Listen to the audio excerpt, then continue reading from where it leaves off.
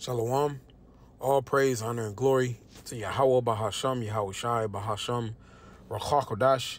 Yahweh being the name of the Heavenly Father, whom this world ignorantly calls God, the Holy One of Israel, right? And the, the God of Israel, by the way, the Holy One of the the Israelites, okay?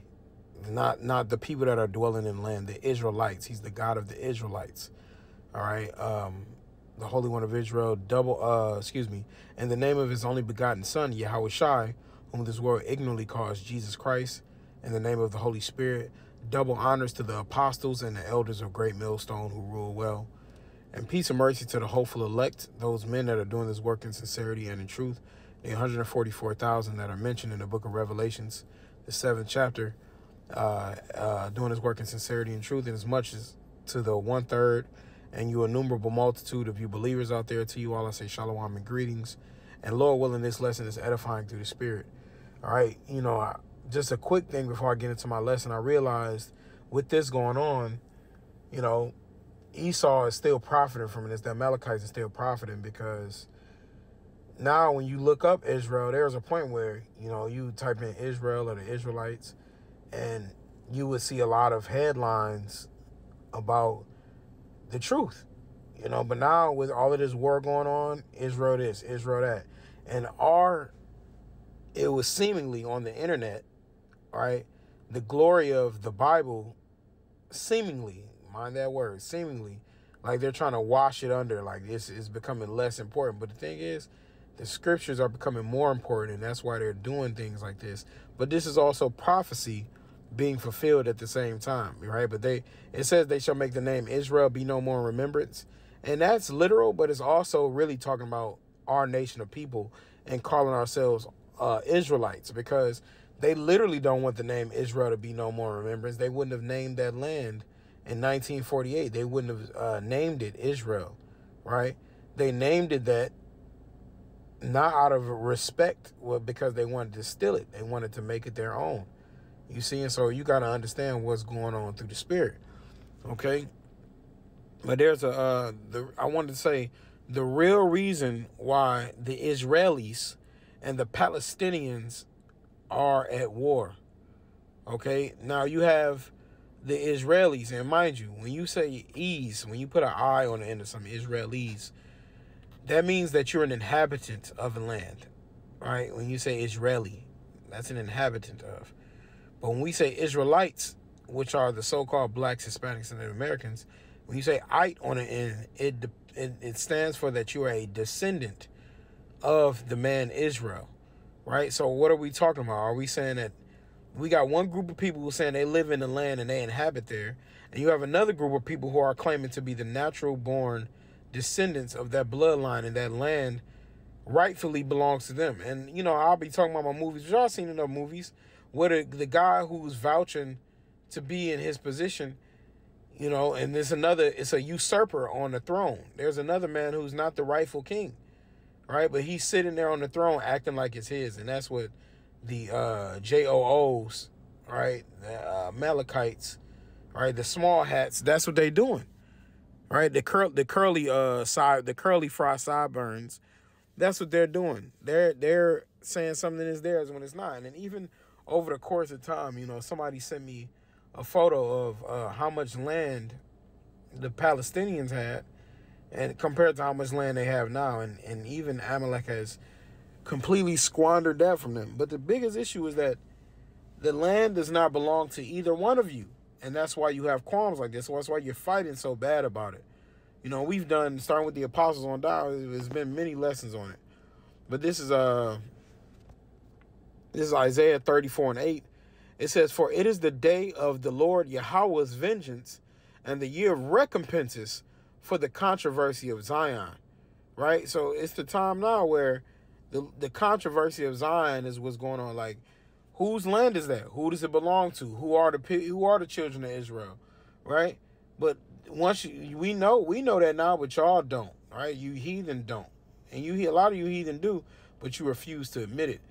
The so-called blacks, Hispanics, Native Americans, and the Israelite foreigners scattered abroad, those are the true descendants of Abraham, Isaac, and Jacob.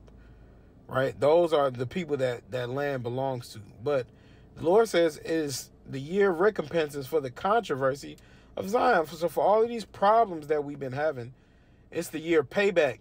You know, right now he's making that all too real. Right? It says, And the streams thereof shall be turned into pitch, and the dust thereof into brimstone, and the land thereof shall become burning pitch. And this is talking about Babylon, America. But but it's been a controversy for us even over here. Right? They've been making us slaves, telling us who we are and what we should do. But at the end of the day, that's that's controversial too, because we're God's chosen. Lord willing, we be of his number, but the Israelites are still the most high's chosen. That's why majority of our people will be punished in the manner that they will. Right? I only got a few verses for this, by the way. But this is uh Joel 3 and 1. It says, For behold, in those days and in that time when I shall bring again the captivity of Judah and Jerusalem. And see, Judah is referring to the, the southern kingdom, the so-called blacks, the the Haitians, the West Indians, uh, West Indian blacks, if you will. So uh, uh, Bahamas, Jamaica, Trinidad and Tobago, Antigua, places like that. All right, and then you have uh, the the Judites, the American, the uh, the so-called African American, the Black American here, that's in America. Right, that's the Southern Kingdom, and then you got the Northern Kingdom of all the Hispanic and Indian tribes. Right, you got the Brazilians, you got the the Mexicans, you got the Native Americans, the Seminole Indians, you know, the Uruguayans, you know, the uh, Dominicans you know, uh, the Guatemalans, Nicaraguans, the Chileans, Venezuelans, El Salvadorians, all of those people are the, the, the Jerusalem. Okay? So now when we got these people, so how are those Judah and Jerusalem, but you got these other people over here in the land that's robbed, saying that they're the children of Judah, that they're the children of Israel, that they're the children of Levi, right? So there somebody's wrong. Somebody's wrong when it comes down to it. Are we telling the truth or are they telling the truth? And all you got to do is look at the man that's been lying to you from the beginning, the so-called white nation, the Amalekites, the JOOs, you know, the JEWs. They're the ones been lying to you. But verse 2 says, I will also I will also gather all nations and will bring them down into the valley of Jehoshaphat and will plead with them there for my people and for my heritage Israel. You see that? So the Lord said He's gonna bring these gather, He's gonna gather these nations to fight, and He's gonna judge them. He said for my people and for my heritage Israel. So He's letting you know His people are Israel, not uh, those people who were dwelling over there in that land, the Israelites who were scattered abroad. Right? He says, and for my heritage Israel, which lets you know it's a people and not a land. It says, Whom they have scattered among the nations. Those Israelis aren't scattered among the nations, right? They live in their places and they got enough money and they go and travel different places, but they're not scattered. Our people are scattered through slavery, migrations, being sold, you know, through boat uh, uh, adventures, you know. Uh, the adventures ain't the word that I'm looking for. Um, there's another word that, that comes to mind, but I'm losing it right now. Escapades you know, it says, and parted my land. You see, and how did they part the land? That's what you're seeing going on right now between the Israelis and the Palestinians. Neither one of them are God's chosen, and that land does not belong to either one of them. And until they get that in their hands, which they never will, Yahweh our Lord and Savior, is going to have to come back and show them that what they're doing is off according to the Bible, and they're going to be put to death. All those people are going to be put to death. It says, and they have cast lots for my people, right? For my people. That hasn't happened to the uh, Amalekite, the JEWs. It says, and I've given a boy for an harlot and sold a girl for wine that they might drink. That, have, that happened to the so-called uh, African Americans, so-called black, so-called Hispanics and Native Americans. That hasn't happened to them. The Amalekites, right? The JOOs. It says, uh, yea, and what have ye to do with me? Old Tyre and Zidon, right? Uh, these uh, so-called African nations. You know, a lot of these northern African, but it says, and all ye the coast of Palestine. So you're Palestinians, right? He says, what you got to do with me? Y'all saying that y'all God, y'all God gave this land to y'all. That's a birthright that's reserved for the true Israelites. Right? Now, y'all. He said, What do you have to do with me? You coast of Palestine. Right? So all y'all over in Gaza, you know, the Palestinians. He like, what you, what do you got to do with God? This ain't got I don't got nothing to do with y'all. He says, I have judged I have not loved any family of the earth but the Israelites. It says, Will you render me a recompense? Are you gonna pay the Lord back for what you've done to our people and to our land?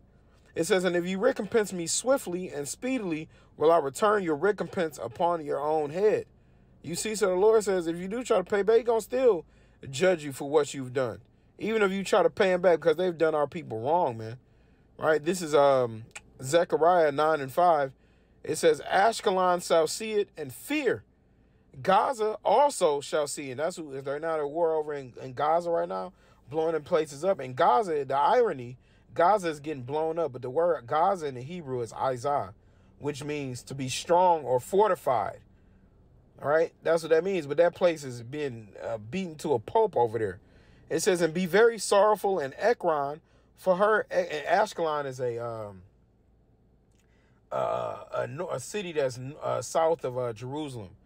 It says, for her expectation shall be ashamed, and the king shall perish from Gaza, and Ashkelon shall not be inhabited. And see, ultimately, all the kings are going to perish, excuse me, from all of these lands. But hey, the king might get taken out. They, they, they so-called leader, they might take him out, man. And if so, you heard it here first. You know, and it, obviously a lot of these are olden times, but these are future prophecies as well. And the next or present day prophecies. Let me say that like that, right? But his name, the president over there, his name is uh, Mahmoud Abbas, right? Mahmoud Abbas. It says uh, he also known by the kunya Abu Mazen. It says the president of the state of Palestine and the Palestinian National Authority, right? Um, so they, that's his name, Mahmoud Abbas. So it says that the king shall perish from Gaza. So, you know, the Lord might take him out. And then how do I know this is a these are focused on more present day? The next verse. It says, And a bastard shall dwell in Ashdod, and I will cut off the pride of the Philistines. Right? So it says, A bastard shall dwell in Ashdod. And right now, a bastard, a mumzia, mumza, as they like to say, right? Goyim, that's what's dwelling in, in Ashdod. And Ashdod is a uh, port city, a port city of of uh, Jerusalem, of so-called Israel over there.